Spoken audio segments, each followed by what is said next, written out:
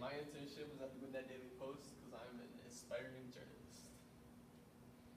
My responsibilities and duties at my internship was, first of all, uh, the first thing I ever did was I created a bi-venue arts and a bi-venue menu, bi-venue music calendar. And what that pretty much is, is it goes online and in the actual paper. And what it is, is you just list a bunch of venues with all their um, artists and musicians that are going to be there. Um, and then I also updated seasonal calendars. Like I created two calendars while I was here that was like uh, Halloween happenings and a holiday calendar. So for those, I would talk about all the different events that were going to go around, go on around the Gwinnett area and the Metro Atlanta area.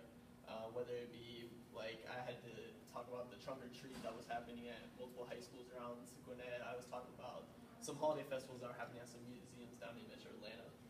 Um, also, I got to write full-on articles. Uh, just today, actually, I wrote a 20-inch article that's actually going to be published in one of the first two or three pages of the paper, and also going to be online. So it was my big article for today. Um, I also wrote the weekly Gwinnett Gab, which is a tiny section in the weekend paper, and that's just three or four main events that are happening around Gwinnett that people need to be informed about and just know what's going on around Gwinnett. Um, also, another big that I had was having to call people and give phone-to-phone interviews about additional information. Uh, so what I do every time we need anything that's going to be published, they have to send in a press release. So if the press release didn't have sufficient information in the press release, I would have to call them and get quotes, uh, more facts, maybe pricing information and stuff like that. Um, while I'm, as of today, I worked 57 hours and 45 minutes at my internship. Um, I started my sixth week of school and I'm gone. Today was my last day for this semester and I will be there next semester as well. Um, just to let you know that I wasn't making this up, here's one of my articles that actually got published. You can search him up on Google. Yes, if you go on if you go on the Gwinnett Daily Post website and search Zach Miles, I have about 10 to 12 articles that are online and then a bunch of other stuff that just says from staff reports. um, but here's one of my articles about the Children's Museum of Atlanta. Uh, they just recently uh, had their grand opening celebration, and I had to write a six to eight inch article about what the big celebration was going to be about and what's going to happen at the celebration. Uh, personal future, I've learned that journalism is definitely the route that I want to go.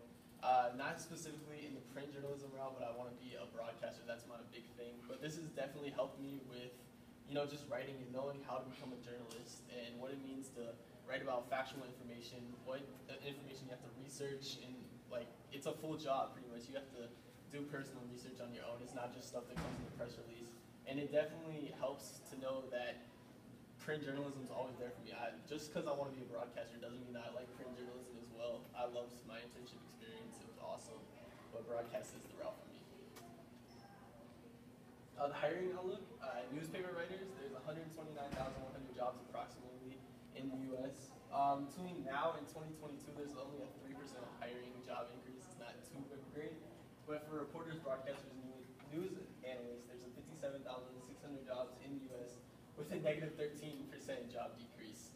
So the jobs are a little bit more tougher in the broadcasting field, which all, it'll be good to always have a writing journalist uh, back, backup plan. Uh, my experience, definitely the most memorable experience was seeing my first article online and in the paper. Uh, I know my mom, she started like crying when she saw my paper. she saw my article in my paper. It was a big thing for my family. It was pretty cool. She should. um, another awesome memorable experience is just being able to like go on Gwinnett Daily Post website, type in Zach Miles, and see my articles there. It's pretty cool. It's like just that personal accomplishment and feeling that wow, I actually got something that got published in an actual full-fledged newspaper. Uh, personal growth, uh, like I said, I know how to write an effective article now. It really, my mentor was awesome. She would critique me very, very hardly. She would tell me like pointers, how to make my article better. Like it. Before going into this, I didn't realize how many minor details there are in writing, and from this, I've just learned a lot. Um, and getting effective phone interview, like I said, that was big because you don't really, like the first time I had my interview, I stuttered. I was like, oh God, what's going on? but um, after a while, you get used to it and you know what to get out of the person that you're trying to contact. And then create your events calendar as well. Uh, thank you.